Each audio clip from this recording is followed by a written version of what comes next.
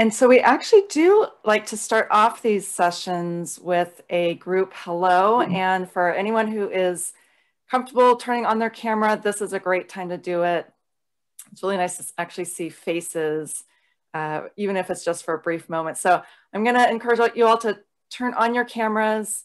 Feel free to unmute yourself for a moment and uh, do jazz hands if you've already voted. And you can say, I voted. I voted. I voted. Felt so good. Welcome, everybody. Now I'm going to share my screen and welcome you all to our core coffee chat. This is our last one of October, which is also Domestic Violence Awareness Month. And so we're very pleased to have our guests from Monarch Services and Walnut Avenue Family and Women's Center joining us today. Uh, we'll introduce them a little bit more in, in just a moment. But for now, I'm Nicole Young, and I'm one of the consultants that facilitates the core investment process, which I'll describe in just a moment. And I'm joined by my colleague today, who is Nicole Lezin. Welcome, everyone. And again, our colleague who is providing the simultaneous interpretation today is Stella Lauerman. So um, big thank you to Stella for joining us for these and doing all the translation of the written materials. Um, and for, for those of you that are just joining, I do want to go through this one more time really quickly um, about how you can participate in this call today because we have um, simultaneous interpretation available. Uh, you'll need to, to select the language channel that you want to participate in. So if you want to listen in Spanish, uh, just click the globe icon, the interpretation icon, select Spanish and select mute original audio. If you're listening in English, you can just select the English channel. You don't need to select mute original audio. And then we do like to get a sense of which language uh, everyone is participating in. It helps us manage, especially when, we, when it comes time to, for the questions and answers, it helps us to know uh, and be ready for the interpretation. And so we ask you to open your participant list and rename yourself. And so click on the participant icon that looks like people, find your name in the list and hover your mouse over your name and look for the more button. And when you click on that, you should see the option to rename yourself. Uh, if you're on a phone, I believe you just tap your name and, and then you see the option to rename. So we're asking you to add some letters after your name, either ENG for English, ESP for Espanol or BIL for bilingual. And again, that just helps us manage the, the conversation when we get to that part. Okay, and then some of you I know are familiar. You've heard us describe CORE already if you've participated on these coffee chats, but we always, we always like to start off with a little overview uh, because we always do have new people joining us in these sessions. So CORE stands for the Collective of Results and Evidence-Based Investments uh, and it's actually both a funding model and a movement to achieve equitable health and well-being in Santa Cruz County using a results-based collective impact approach that's responsive to community needs.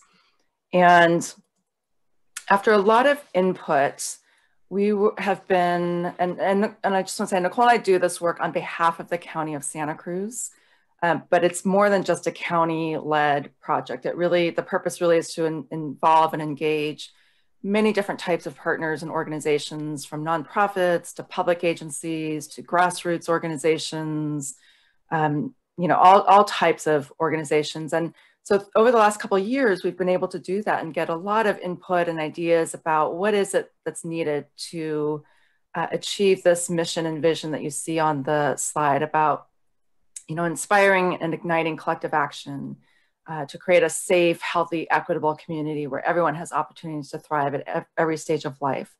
Those are, those are words uh, and messages that came through loud and clear in several different um, you know, forums or, or these large core conversations that we called them, where we really you know, asked and listened to what is it, what's needed to create that kind of equitable health and well-being.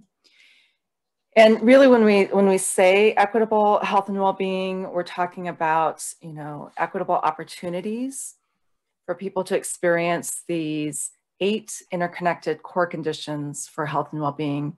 This is basically saying these are things that, as a community, we all need to be able to experience so that our outcomes and our opportunities in life can't be predicted for better or worse by things like race or ethnicity, income level, gender identity, uh, and so on.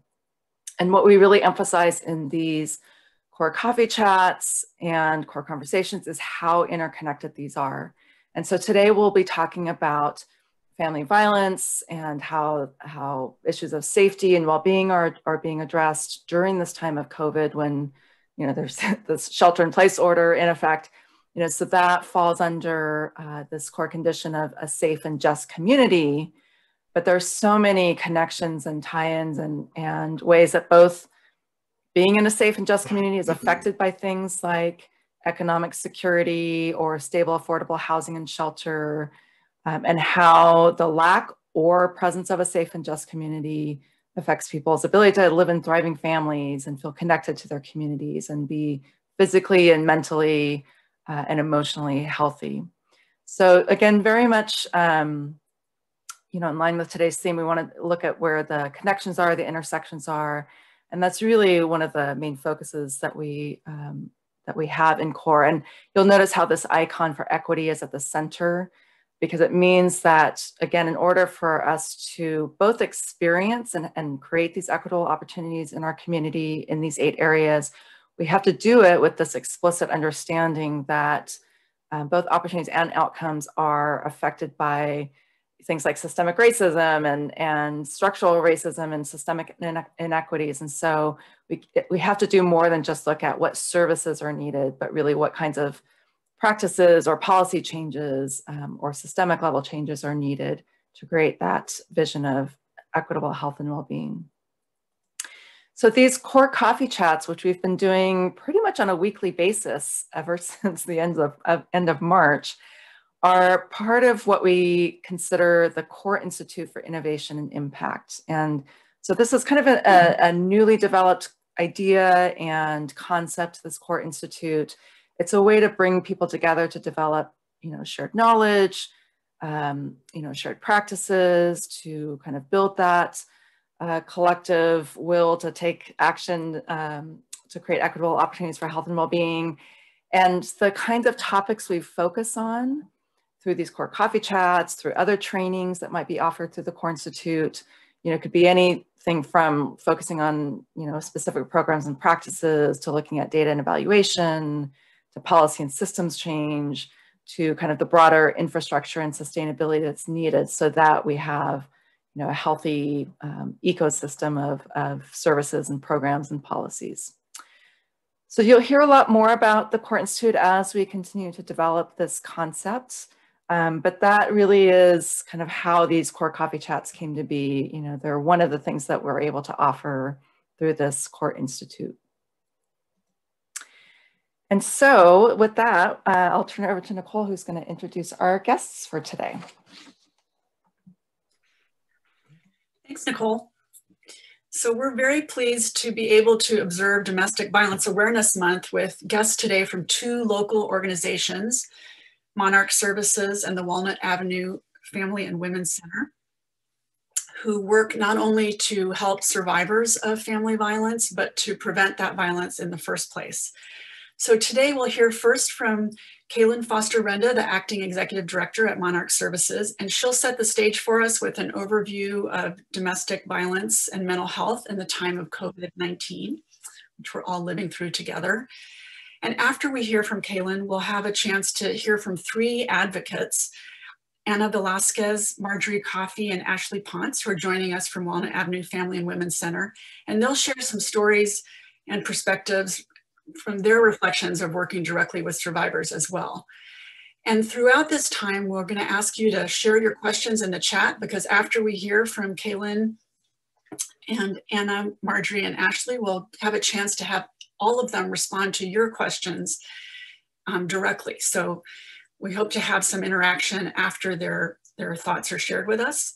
So keep those questions coming. Nicole and I will gather them and try and route them. And if we don't get to all of them today, we will try to get them answered after our chat and share them with you later.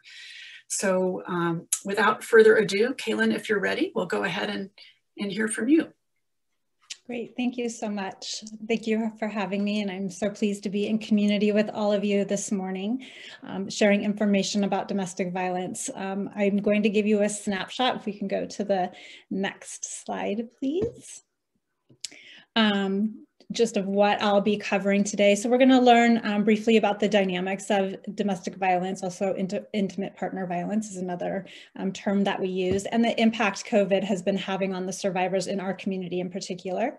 Um, we'll talk about how we have adapted our services as an agency during this time, and also talk about the journey to healing, because that is the most important piece of this. Prevention eh, also, and uh, these two are what we want for our community members. Next slide, please. Great. So just a really brief overview of who Monarch is.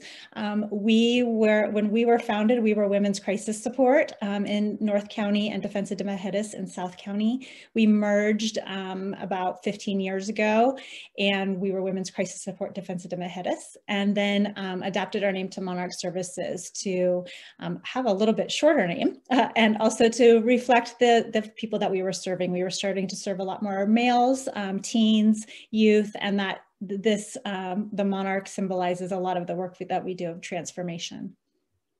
We offer an array of bilingual services. Um, all of our services are free, and um, we are we work with domestic violence, sexual assault, and human trafficking survivors to help empower them and transform their lives and and be able to heal from the violence that they've experienced.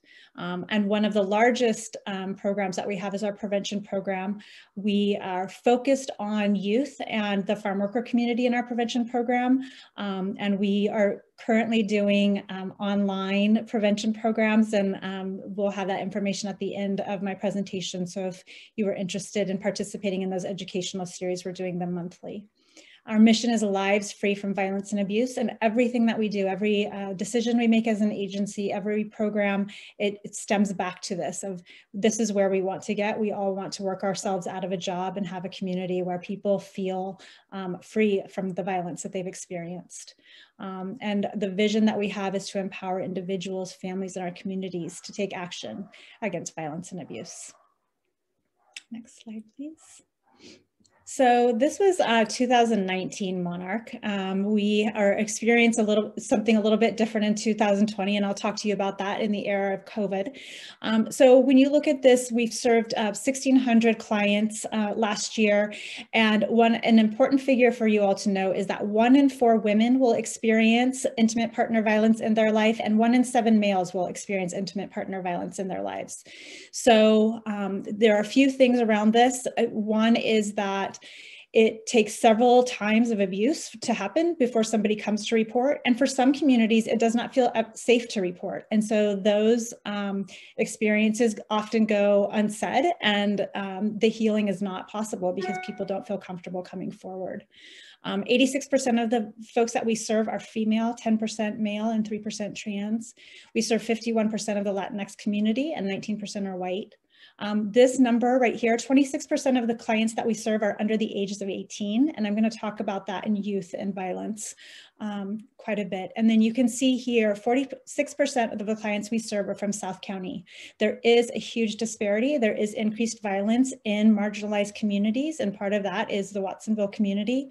Um, and that is largely due to the social determinants of health not being met in communities. Things like um, not you know racism being prevalent not having access to healthy um, and safe housing not having access to wages that can pay for the the foundational needs of people um, having to live in multifamily housing units that are in poor condition. So all of those things directly contribute to the violence um, being escalated in communities. Um, and then 62% of the clients that we serve were domestic violence clients in 2019. Next slide, please. And this is just a, a um, definition of what domestic violence is. And I know a lot of us picture somebody having a black eye, seeing physical marks from domestic violence. That is a small portion of what domestic violence looks like in a, in a home. Um, many times financial violence in 94 to 99% of domestic violence situations, financial violence is part of that. And that looks like withholding um, money from people, having control of how things are spent, um, harassing people at workplaces so they're not able to go to work and earn wages. Um, so the control really happens in the financial picture for those families. Uh, and that is very, very common. Um, and emo emotional abuse as well. Um, and something that's important to know is in domestic violence households, 90% of the homes um, where domestic violence is occurring, children are present and are witnessing that violence. Next slide, please. So COVID-19 um, and how this is impacting survivors of domestic violence. And I will share with you, and I know um, the advocates at Walnut Avenue will also um, echo this in that we have seen huge increases in the number of clients that we're serving. And that's in, in particular domestic violence for us. Um, when we went into shelter in place in mid-March, we all started working remotely.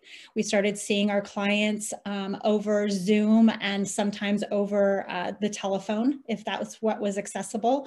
Uh, during that time, we collect data all the time, but we then started reviewing our data on a weekly basis because we were worried about some of the clients that we were serving and their ability to be able to access services. Um, one of our greatest fears was we are now all sheltered in place and many of us um, most of our clients are not sheltered in a safe place. And so how will they reach out? How will they be able to get services? And so we really needed to monitor um, who is accessing services and who is not uh, based on our, our data. And what we found is that we had a huge drop off in the number of children that we were serving. And we had a huge drop off in the number of monolingual Spanish speaking clients that we were serving.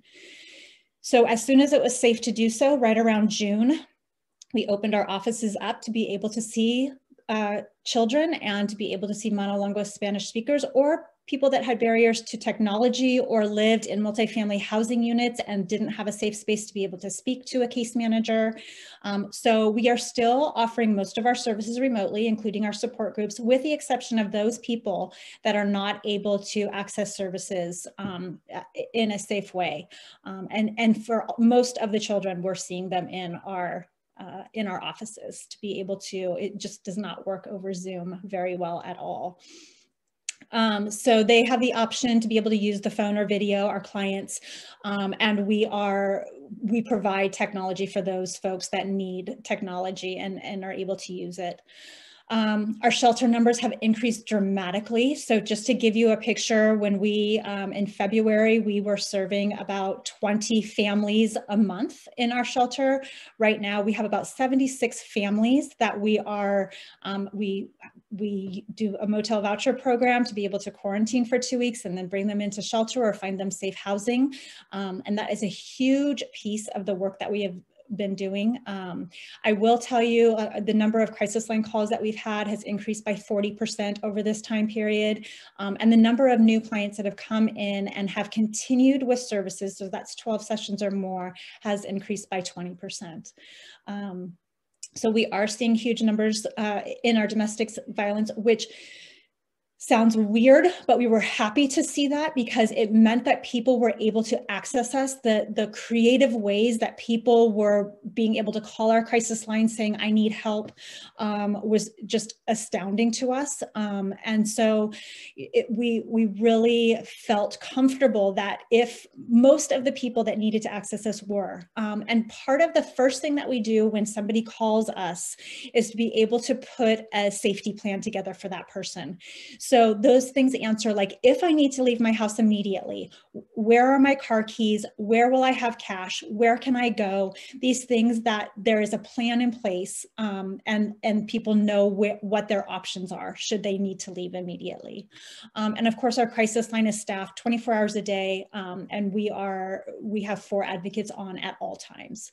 Uh, and, and at this point, we are just busier than we have ever been.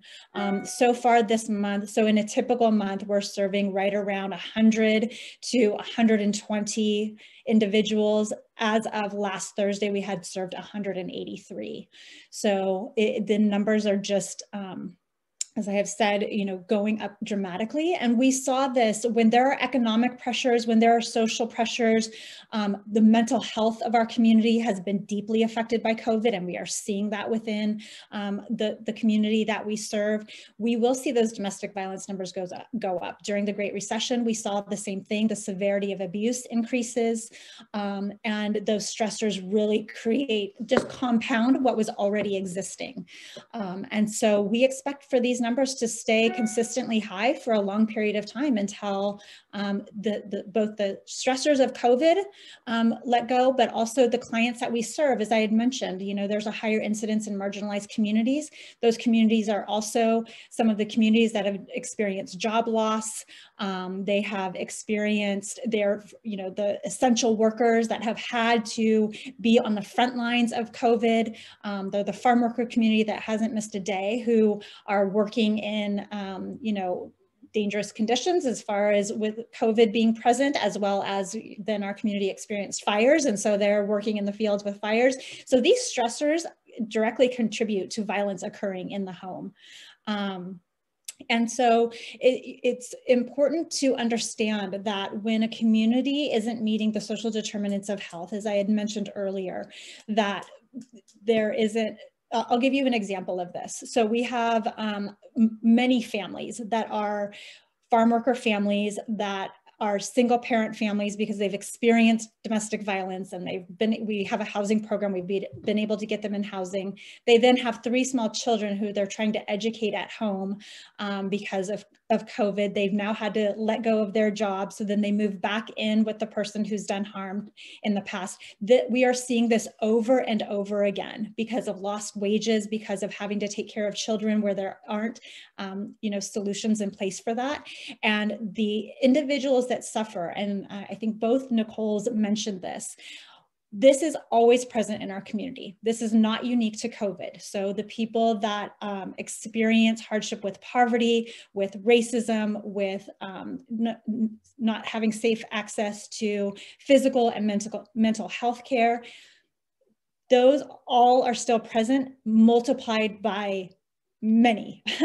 so all of those issues are just been exacerbated by COVID.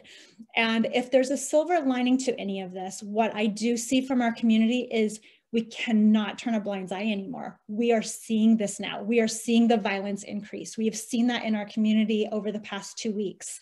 Um, we've had domestic violence homicide. We had two homicides in Watsonville last weekend. That is present and it's it's always there but COVID has just magnified it.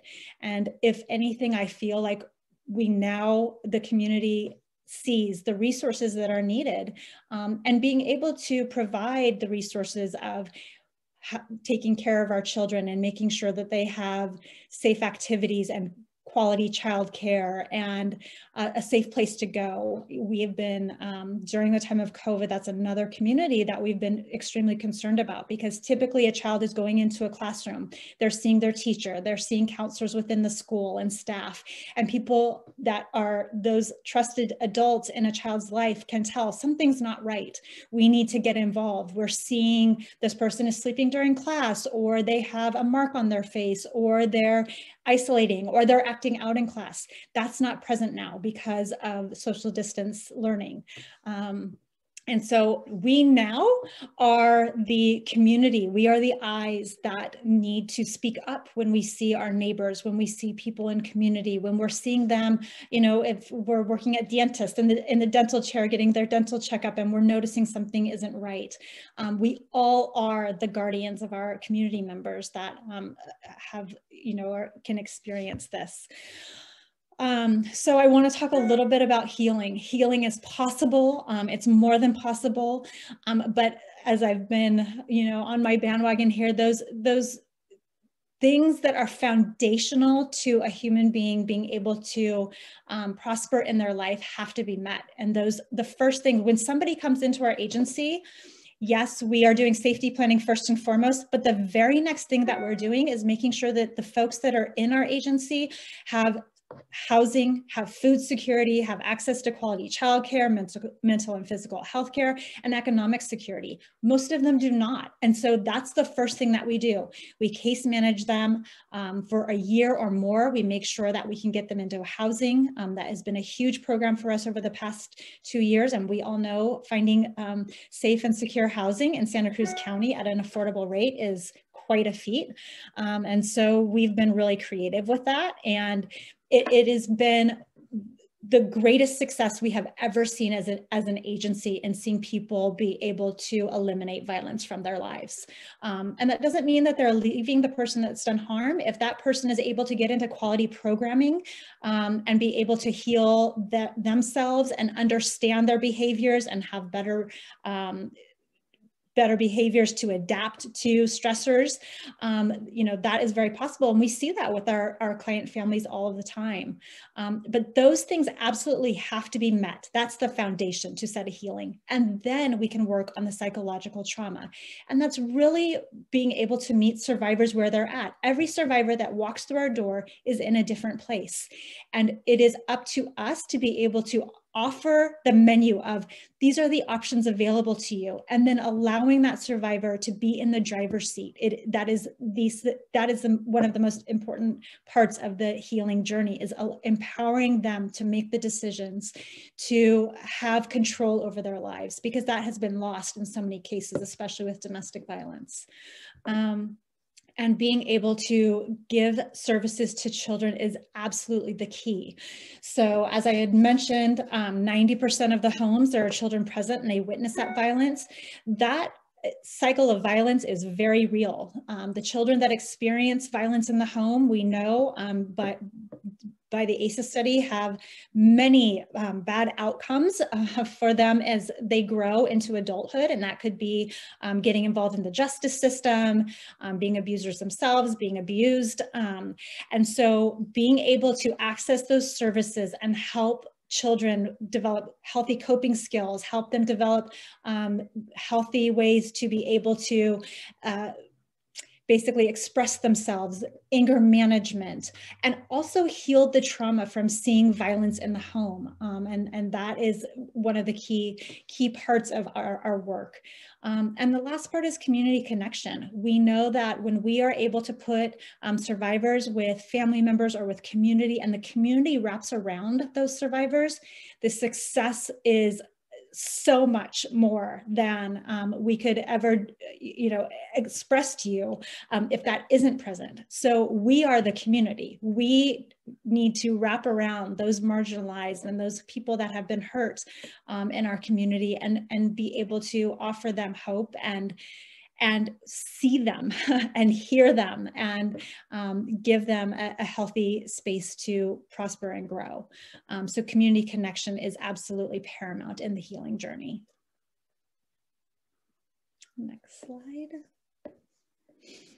And then I know you're going to do questions in the chat, and I'm um, I'm super excited to answer. Um, as I mentioned, we do have our prevention team is putting on monthly uh, talks and educational series and that you can find that um, on our website and also all of our social media that's there.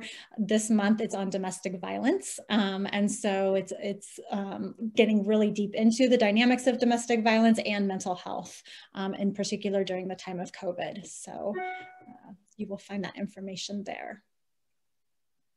And i thank you Thank you, Kalyne. So please keep your questions coming in the chat and we'll try and share those with Kalyne and the advocates who you'll hear from, you'll hear from next. And uh, that was just a great overview and a, uh, a, lot of insights into some of the, the ways all these things are connected, as well as how they're really intensified during the time of COVID. So now we're going to have a chance to hear, as I mentioned earlier, from three advocates from the Walnut Avenue Family and Women's Center.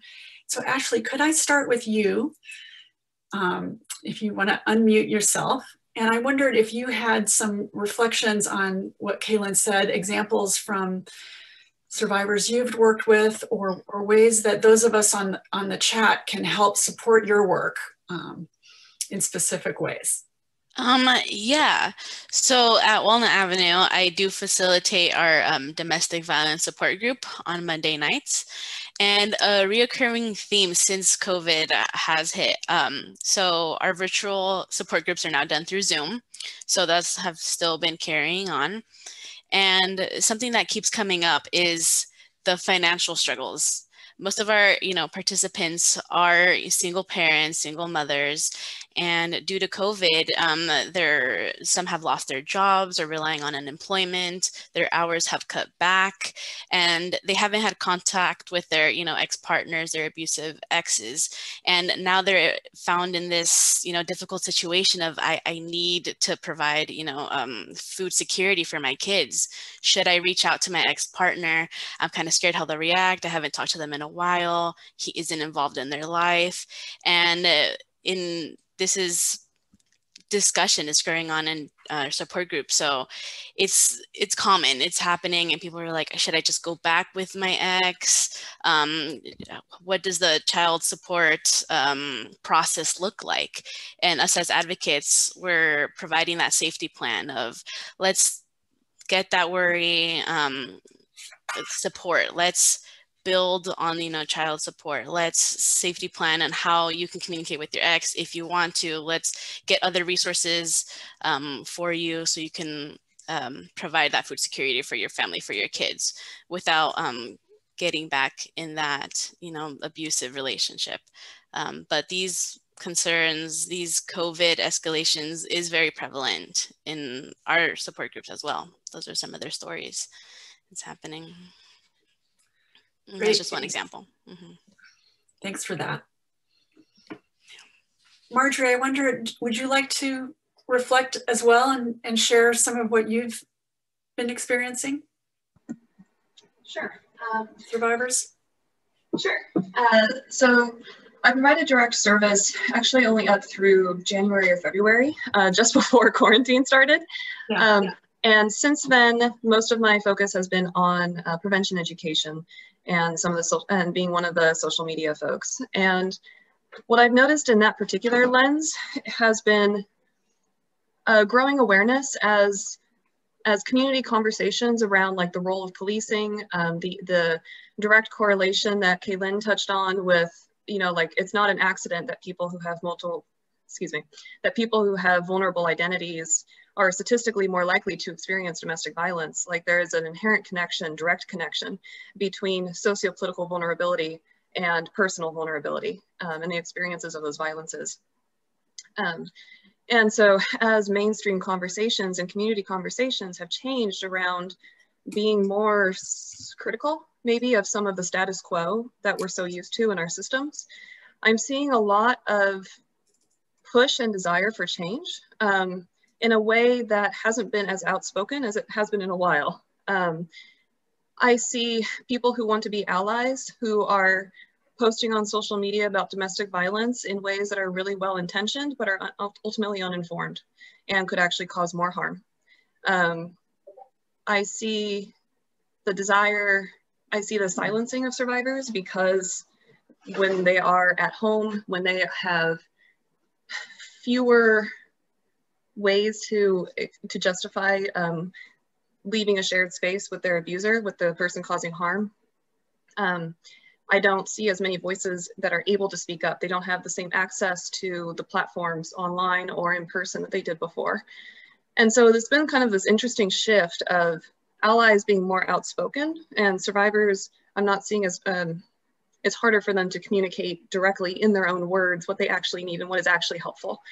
And so um, my, my takeaway from this has been wanting to encourage people to not let the momentum fade because there is still so much work to do. There has always been work to do. That to take advantage of the prevention, uh, uh excuse me, the prevention opportunities offered by Walnut Avenue and by Monarch to take advantage to, you know, domestic violence touches every aspect of our lives um, Kalyne mentioned, you know, one in four women, one in seven men. And that's just the statistical research. Those are the people who disclosed. you know, it's, it's, those numbers are guaranteed to be higher and that's only in the general population. When you look at uh, more specific demographics, numbers absolutely are higher. To be a trans person of color is one of the most dangerous identities to have. Um, over half of people who are trans experience specifically sexual violence from an intimate partner, let alone the other possible forms of domestic violence. And so my hope is that under COVID, under the protests that have come out of George Floyd's murder and all of the social movements and pressures, that people will recognize that you don't have to be an advocate to be an advocate. you know, you don't have to be employed in our in our industry. Um, that we that both Walnut Avenue and Monarch are happy to come into faith groups, into schools, into wherever you will give us a space. Let us know what kind of information you want that is most helpful, and we will do that. Um, and I think that is one of the most helpful things is I do believe that education is one of the most self-empowering things but also recognizing that a lot of times education comes with barriers, a lot of classism and a lot of um, accessibility issues. And so by lowering those barriers and, uh, and bringing in opportunities for education to know, oh, that's what I'm experiencing.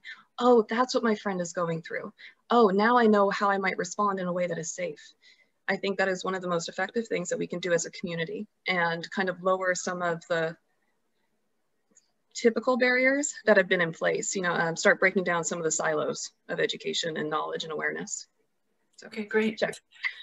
Thanks, Marjorie. I see a lot of questions coming in and we'll get to them in just a moment about some specifics about how people can respond in, in helpful ways as opposed to unhelpful ways. So hold that thought. But um, Ana, I wanted to give you a chance to reflect as well on some of the things that you're hearing that are maybe specific to COVID, but um, bringing forth things that have been there all along, as Kalyne mentioned. Yeah, thank you. Um, so one of the things that um, I have seen uh, with a lot of current and former clients is that the stressors for COVID are um, posing a really negative um, impact on their mental health. Um, this is even more so with folks that, you know, have been, I haven't heard from for a while. It seemed like they had moved on to bigger and better things, but now because of this pandemic, they're reaching back out to me and saying, Ana, I'm feeling really triggered. I need your help or can I can, can you connect me with some mental health resources? So that's very real. Um, one of the things I also wanted to um, acknowledge is that especially due to COVID and because of a lot of the discourse going on in politics. A lot of uh, survivors have reported, especially those that I work with, that a lot of the language that's being used by um, certain uh, political figures um, is very triggering language that takes them back to the same um, verbiage that was utilized by their abusive partners either in the past or that has been used, you know, most recently towards them. And I also, you know, again, that's something also to be mindful that it's not just COVID uh, impacting survivors. It can also be this very triggering language that's being used in the sort of public discourse that people don't realize realize how um, similar it can be to the language that um, folks who behave in an abusive way um, utilize against um, survivors. The other thing I also wanted to uh, mention too is the aspect of financial abuse. Um, that's something that a lot of survivors, especially now that their hours are being cut, they're being laid off of work, that now um, they're being put in a position where, again, as uh, some of the other uh, Kalyne uh, and Ashley and Marjorie have mentioned, where they're having to ask their abusive ex for financial support for their children, or even um, fi go finally move forward with a divorce case and see if they can get spousal support. And this is so, sometimes a lot of the opportunities that uh, folks who are abusive will utilize as a way to uh, weaponize child support, uh, spousal support, or even informal uh, financial arrangements uh, in in order to utilize that against survivors. Um, one of the other things too that's really common um, and I, have heard from a lot of survivors recently is the issue of identity theft by uh, their abusive partner. So that is something that is quite worrisome. It's also an easy way for somebody to sabotage somebody's chances of being able to leave a relationship successfully and reestablish themselves, you know, and rent an apartment You cannot rent an apartment if your credit is absolutely destroyed, right? Um, and it's been really common, not just with um, survivors of intimate partner violence, but I also see this a lot as a person that works with young people. I see identity theft happen uh, for young people at the hands of their abusive parents. And that's also something to be aware of, you know, if a, if a lot of you work with young people, that this might be something that young people will need support around because especially young people or even sur- even survivors who maybe were really sheltered didn't have an opportunity to gain basic financial uh, literacy information that they are going to need a lot of support in getting some of those basics down and also needing guidance on how can I rem- remedy this. I just recently had to support a survivor on a step-by-step process of how can I address I, this identity theft? How can I freeze my credit? Um, how do I reach out to the three credit bureaus, right? Um, and it's so important that, you know, us as allies in the community, if you know you have that expertise, um, whether it's for financial literacy, um, credit 101, um, budgeting, that if a you notice that a survivor is in need of that information, please do, uh, I would encourage you to, you know, provide a, an accessible way of survivors receiving that kind of education because, you know, again, knowledge is power. And people who are um, abusive like to capitalize on the fact that uh, a survivor does not have knowledge and therefore doesn't have power in that situation.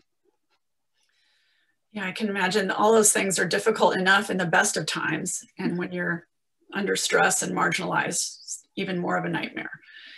Um, Ana, you mentioned that some of the, the language that's being used in public discourse um, is triggering, and we had a question mm-hmm. specifically about that, so I just wanted to give you a chance to mm-hmm. address that. Um, can, can you offer some examples?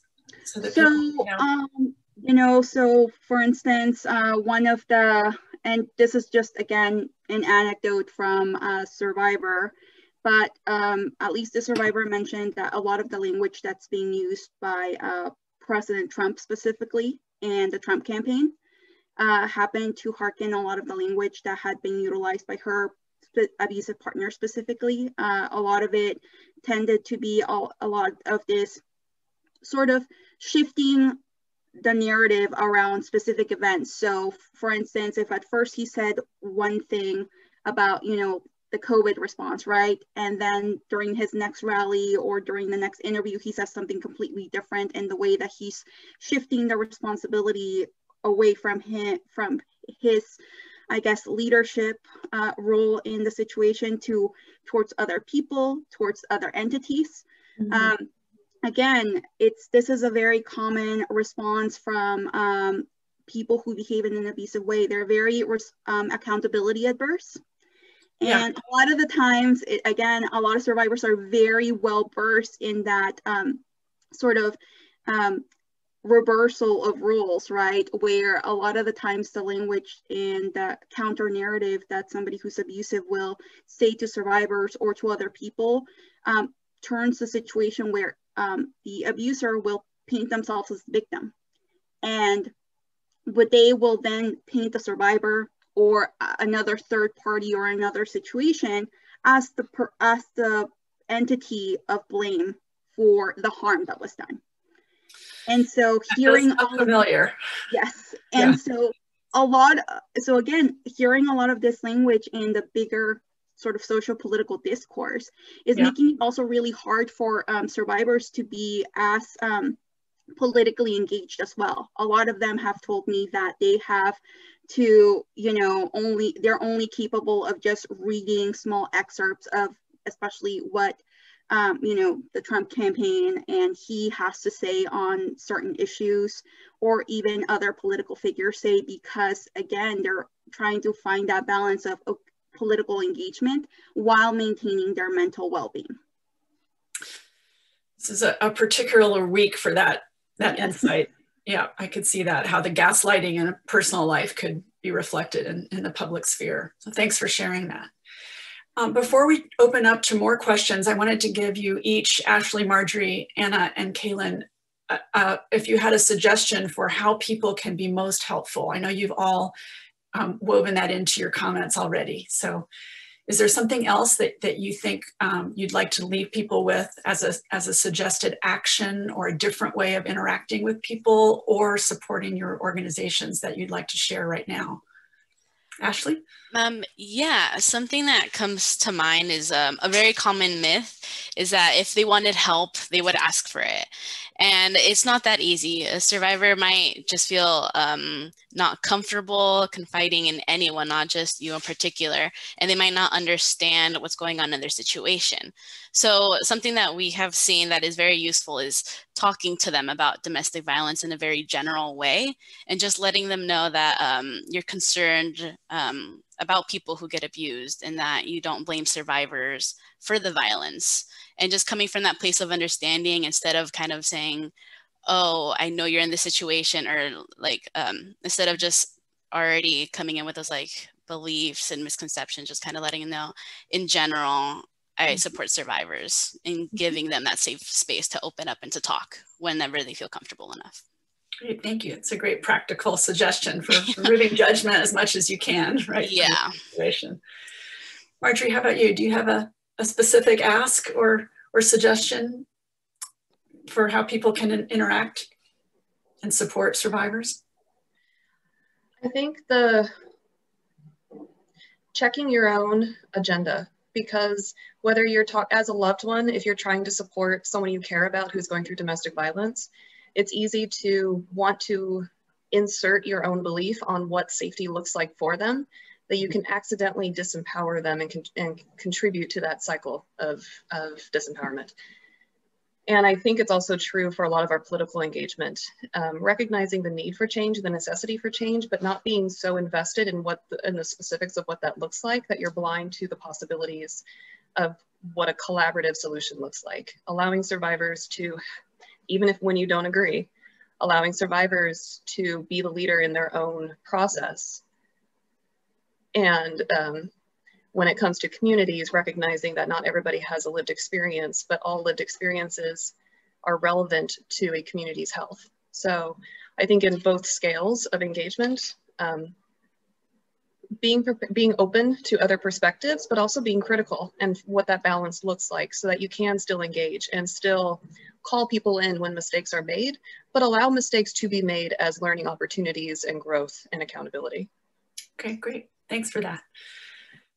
Kalyne, what's on your mind? So much. I appreciate all of those wonderful questions and insight. Um, I, I, think uh, as a community, uh, there are a few things that we can do immediately. Um, one of them is definitely being an active bystander. If you see, see something, say something, especially when it comes to children. Um, I, I think that many times, you know, we see the person who's been harmed um, and we forget about the children. Um, even when law enforcement gets involved in domestic violence situations, very rarely are the children interviewed as part of that process. And that's one way to get services to uh, the children of that family. Um, so really see, when you see something, say something. And the other part is, you know, question what the norms have been. Um, and let's look at everything with an equity lens. So a perfect example of this that has happened in the time of COVID was 63% of the population of South County has, uh, of the COVID cases have come from South County. So 63% of the funding that has come through the CARES Act has needed to go to South County. That's an equitable way to spend money. And that's what we should be doing as well. So those marginalized communities, we can put money to where they need to go. Um, e equity does not mean that everybody gets an equal slice of the pie. Equity means that the people that need it most get the most. And that's what we should be doing to be able to stop the violence from occurring in the first place. Um, so that's a, I, I know a big agenda item, but we have, you know, every every transformation starts with one step, and this is our first step, and and we are on our way. And things like CORE make that possible. So thank you to both the Nicoles for making that happen and being the voice of that. Thank you, Kalyne. Um, and I'll give you a quick chance to weigh in. I know I know we have to move on to some other questions as well, but that will be a perfect seg if you want to share yes. your so I would say uh, the biggest thing, especially whether it's, uh, especially for those that want to help somebody in their life that's going to, or who they suspect is going through domestic violence, one of the things would be to be patient. uh, with the survivor. Um, sometimes survivors are not ready yet and or are not in a good mental headspace yet to really come to terms with the fact that the person that they love and care for is also perfectly capable of causing them indescribable harm. And again, that is that is a, a major realization that takes it it's its own process to go um, to undergo and um, that they have to come to terms with themselves. And, um, you know, so one of the things would be to be patient and just to let the survivor know, hey, I'm here for you.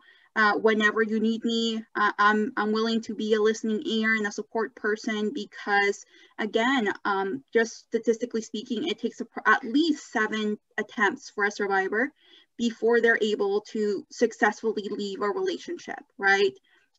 And so again, part of those attempt, one of those prior attempt, prior attempts is, okay, I left, but now I can't turn my feelings off, like off a switch. I can't turn off the love and care I have for this person, even though yes, they have hurt me this much. We have children involved.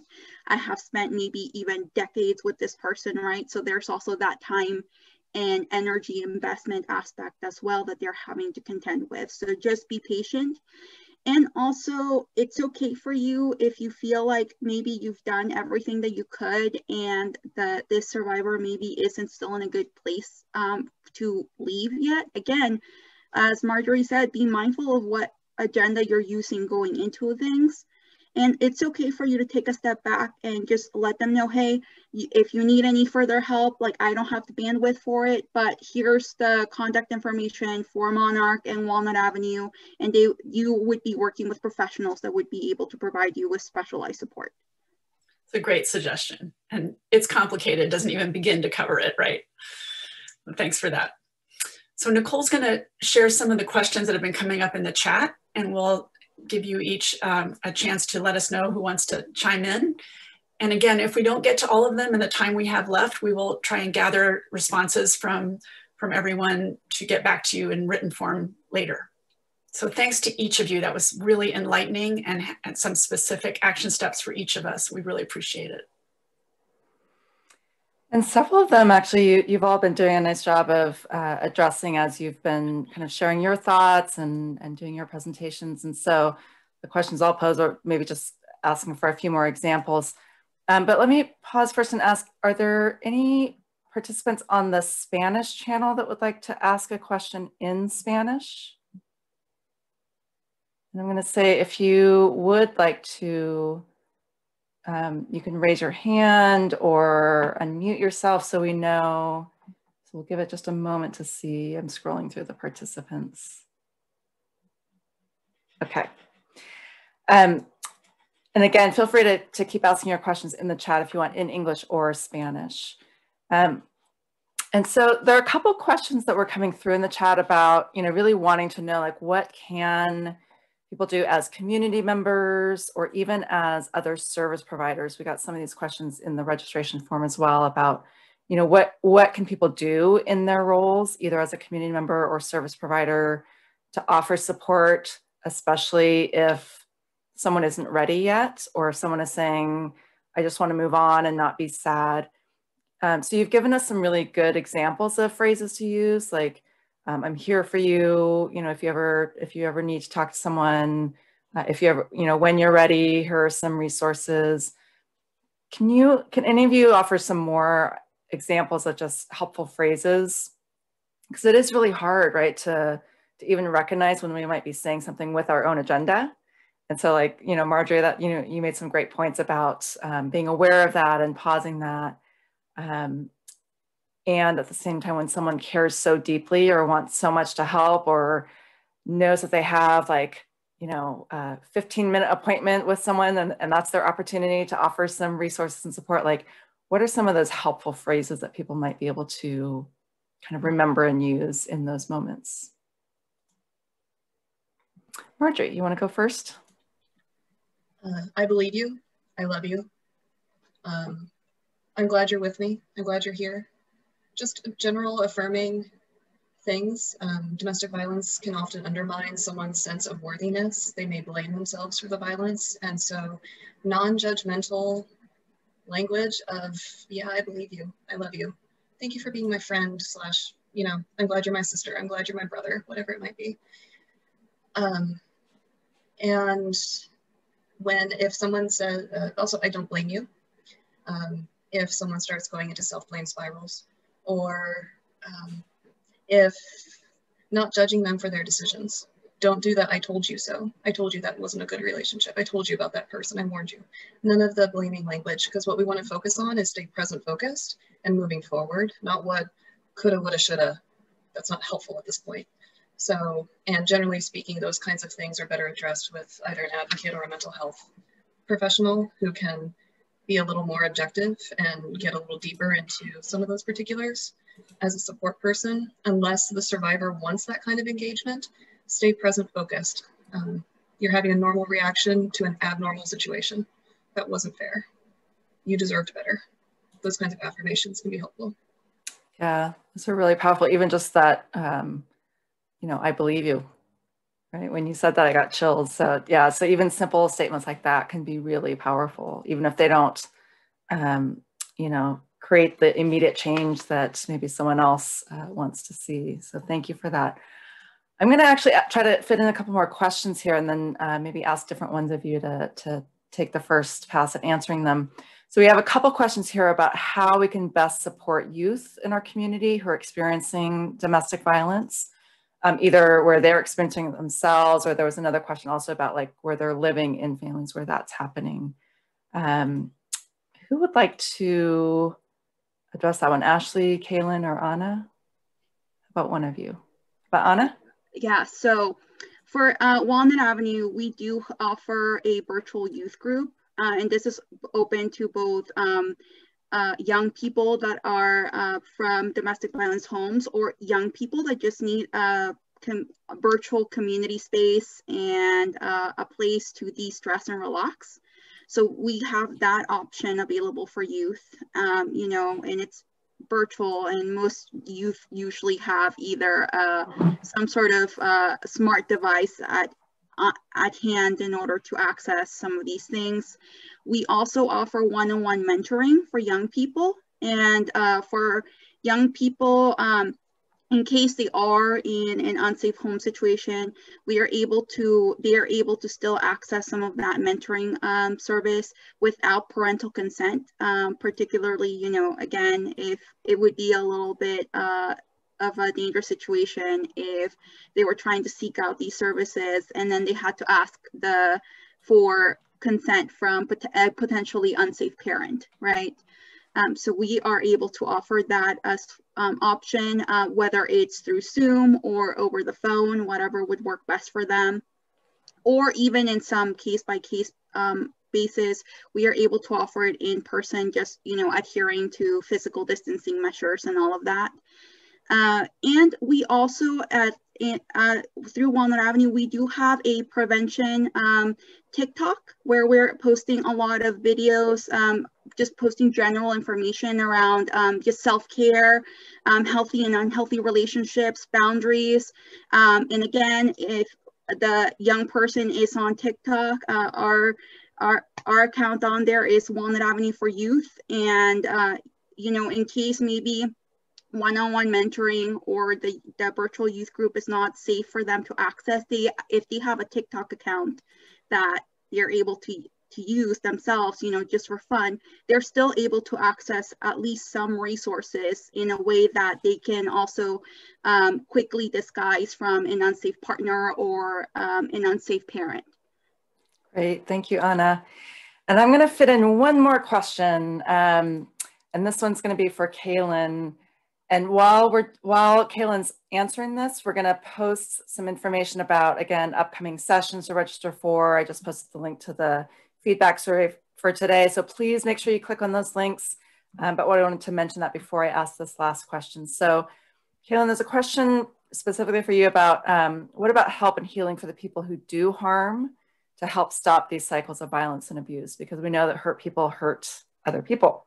And so there's a question, an interest in hearing you talk more about the work that Monarch does in that area. Sure. So we have a program that we launched about a year ago called Positive Solutions. And what we found in talking to survivors, uh, is that many times they want their families to be able to stay together. Um, and the other piece is, is the a person who's done harm moves on to other relationships and is continues the cycles of abuse. So we offer a program that is based on healing the person who has done harm, having um, anger management skills that uh, are able to address the way that they are dealing with escalated situations. Um, and the number one thing that, that is important to know about the person who's done harm is research shows that their ACEs score, and that's a little like um, thing that you'll be excited to see on November 12th with the Nicoles, but is exponentially higher typically than even the person that has been hurt, the survivor. So childhood trauma plays a huge part in this um, and being able to offer healing resources that are non-shaming. Um, so often the person who's done harm is continuously shamed, which just exacerbates exacerbates negative behaviors and perpetuates cycles. And so we are able to offer this programming. It is free of charge. Um, and it is also tailored, typically a batter's intervention program, which that has been called, has been a 52 week program, but because the County of Santa Cruz is in a pilot program with the state, we are able to tailor the programming to meet the person's need and the recommendation of either the probation officer or CPS or, um, you know, somebody that, that's self-referred. So that is just a little sliver of the program, um, but basically it's based on strengths um, and finding strengths and being able to communicate and uh, effectively and in a healthy way. And so that is the model that we believe in and that we believe believe will, um, you know, end cycles of violence. So thank you for that question, Dr. Green. Thank you, Kalyne. That's so interesting to hear. Um, and so I just want to say we are officially at our end time. Um, if our guests are able to stand for just a few minutes more, there is a question about safety planning with clients while sheltering in place. Um, and Barry, if you're still able to stay on, then you'll get to hear an answer to that. Um, but for everyone else, I know that sometimes people have to leave right at, at, right at 11. So we are officially done. But for those of you that would like to stand for a few minutes more, um, I'm wondering, Kalyne and Ana and Marjorie and Ashley, can you say a little bit about what safety planning looks like with clients who are sheltering in place? Yes. Um, and specifically like how it's different because of COVID. Right. So I think, you know, for us, what we see is this is step one for sure in being able to, if we just have a finite amount of time with somebody um, that's called our crisis line or, or is able to meet with a case manager, um, the safety plan is absolutely key to, it's been said many times, but it's very often that people that are in a domestic violence situation, they normalize that violence.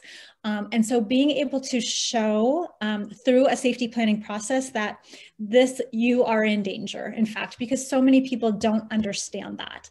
Um, and so it empowers the individual to make decisions um, and to be able to have a plan in place that empowers them to leave should they need to. Um, and so it, it really is tailored to that person um, and what their needs are, if they have children, if they have um, family or friends in the community, but it's really identifying those things. So the, the top or access to funds, access to, to, a safe place to go, um, knowing where the car keys are, having a second location of car keys, perhaps with a neighbor should you need them or hidden in you know, a bush, but some safe way to be able to leave a situation should it escalate. Um, and part of that too is being able to leave conversations as they start to escalate, you know, being able to walk away from it. Um, so there are a number of factors that go into place and every situation is different, but it is extremely important. Um, and they have the National um, Resource for Domestic Violence has a safety plan template on their website that you can absolutely, you know, access to be able to use. I do recommend getting some training around it because it's important for case managers and advocates to see some red flags um, as, you know, people are answering them. But if there's nothing else, there is that template that can be utilized and um, at least there's some kind of a plan in place. One of Thank the you. other things, at least that we at Walnut Avenue recommend is having a go bag with um, identification, um, really vital documents like a social security number, insurance cards for themselves and their children, uh, medications if um, they have a chronic condition that they need uh, medication to manage, and just a couple sets of clothing. Um, one of the things that um, has actually been sort of like a blessing in disguise of the wildfires that we recently had here is that a lot of survivors now have an easier time creating a go bag, even right in front of their abusive partner, because they're utilizing disaster preparedness as the pretext for it. And um, this is something that with a lot of survivors that I've currently worked with, they um, presented um, their go bag in this way to their children who they knew that their abusive partner was going to sort of follow up uh, with the children of what is what is mom doing. Um, so again, utilizing any other sort of um, seemingly mundane reason to create like a go bag. Again like as Kalyne said making sure that you um, they have funds available or that they're connecting with family or friends who would be able to provide them with financial support especially if um, their fin- their uh, bank accounts their credit cards are close- closely monitored by their um, partner, one of the other things we encourage folks to do in those instances would be if they go grocery shopping, um, get a small amount of money through cash back um, as they're uh, checking out uh, from the store, you know, and me paying for their groceries because on the ba bank statement, it's just going to show, oh, well, you spent X amount of money at Safeway. And it's not going to show that along with the groceries that were being paid for, they're, um, they also withdrew um, a small amount of money. So they, this is something that we can support survivors at developing, you know, a long-term plan but it, again, the safety plans really hinge upon what does the survivor want to do? Do they, are they at the point in, um, in their life where they still want to stay in the relationship either for um, due to emotional reasons or due to very practical reasons like I have no family, I have nowhere else to go um, if I were to leave, right? Uh, so then the safety plan for that situation is going to look very different than the safety plan for somebody who is actively working towards leaving or who has just left and all they need to do is just um, have a safety plan in, in place in case their abusive partner um, tries to retaliate against them for having left the relationship. Thank you. That was uh, both of those were really helpful answers. And I see that Kalyne uh, posted the link to a safety safety plan template in the chat box as well. So we'll also include that in our follow-up email with links to different resources and um, as well as the recordings of today's session.